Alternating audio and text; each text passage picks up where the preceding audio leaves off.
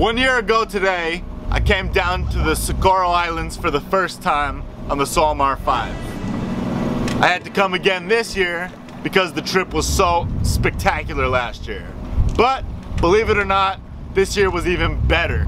We just got out of the water with a huge pregnant female whale shark that I thought was gonna give birth at any moment.